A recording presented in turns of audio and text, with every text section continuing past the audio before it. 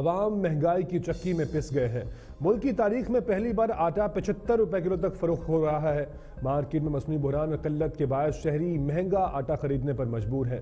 خیبر پختونخوا میں نان بائیوں کی ہڑتال دوسرے روز بھی جاری ہے، جس سے شہریوں کو شدید پریشانی کا سامنا ہے۔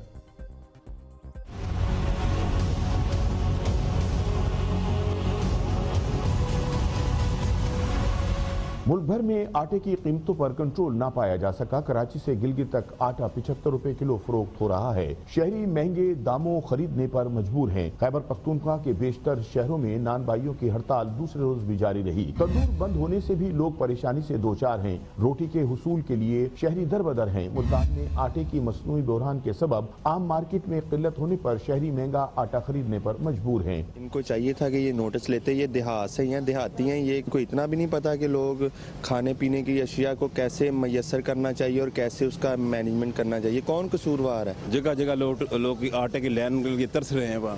جس کی چار پانچ سو روپیہ دیہڑی ہے وہ کہاں سے آٹا پورا کر کھائے کیا تھا؟ ان کو مل رہا ہی نہیں لوگ بھوکے مرنے شروع ہو گئے۔ چالیس من ٹن انہوں نے افغانستان بھیج دیا۔ اس کا پوچھنے والا کوئی حکومتی ایکشن کارروائیاں سب بے سود۔ آٹے کی قیمتوں میں اضافے نے عام آدمی کا جینا مشکل بنا دیا۔ ریلیف سینٹر بھی شہریوں کو ریلیف نہ دے سکے۔ لاہور فیصل آباد، ملتان اور گجراوالا سمیت پنجاب کے بیشتر شہروں میں آٹا چند روز میں مزید چھ روپے مہنگا ہوا۔ حکومت کی جانب سے تین لاکھ ٹن گندم درامت کرنے کا فیصلہ کیا گیا۔ امپورٹرز کے مطابق تمام سفری لاگت اور بین الاقوامی گندم کی قیمتوں کو دیکھتے ہوئے فی کلو درامدی گندم پینتالیس روپے میں پڑے گی۔ اب گورنمنٹ یہ کہہ رہی کہ چکیوں سے آٹا سستا نہیں، میرا مہنگا مل رہا ہے۔ وہ اس لیے میرا کہ اوپن مارکیٹ جو ان کی ہے، وہ تو ہے بائیس سو تیئیس روپے کی پوزیشن پہ۔